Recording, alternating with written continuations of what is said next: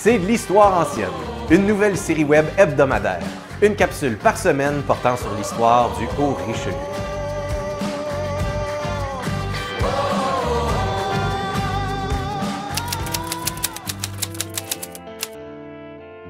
Le second fort français de 1748. L'histoire du fort Saint-Jean est pleine de rebondissements. Ce lieu historique, situé sur la rive ouest de la rivière Richelieu, a eu plusieurs vies et plus d'une appartenance.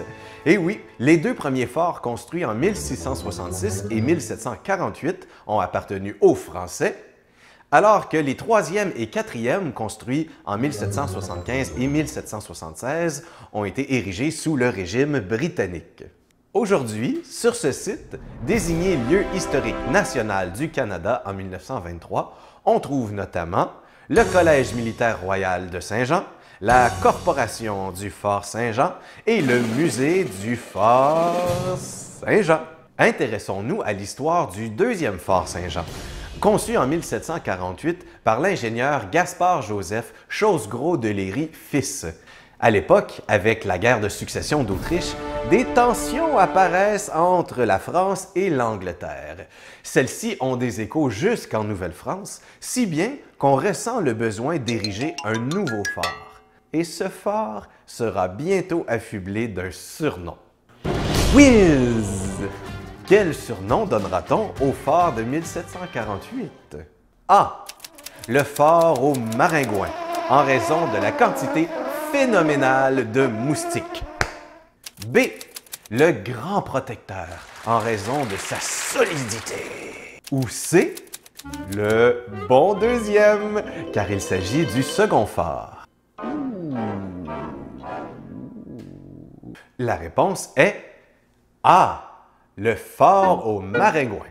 En 1749, un botaniste scandinave nommé Père Calme rapporte dans ses écrits de voyage la quantité impressionnante de moustiques qu'on trouve dans la zone marécageuse entourant le fort.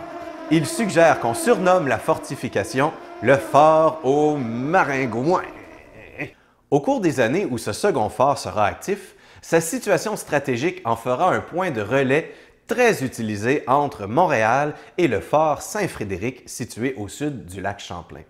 En effet, avec l'absence de route vers le sud et la présence de rapides en aval de la rivière Richelieu, les troupes et les messagers emprunteront souvent la route entre Saint-Jean et la Prairie qui leur fera gagner bien du temps.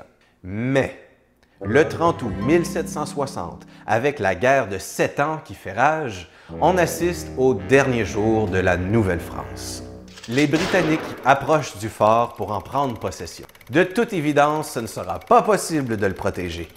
Le commandant Roquemort du régiment de la Reine reçoit l'ordre d'abandonner le fort et de le détruire. Celui-ci sera donc incendié. C'est la fin du fort Saint-Jean sous le régime français. La capitulation se fera à Montréal le 8 septembre et le traité de Paris en 1763 scellera officiellement le destin de la colonie française d'Amérique du Nord. Aujourd'hui, si vous visitez le site du Collège militaire, vous pourrez voir des vestiges du fort et peut-être quelques maringouins.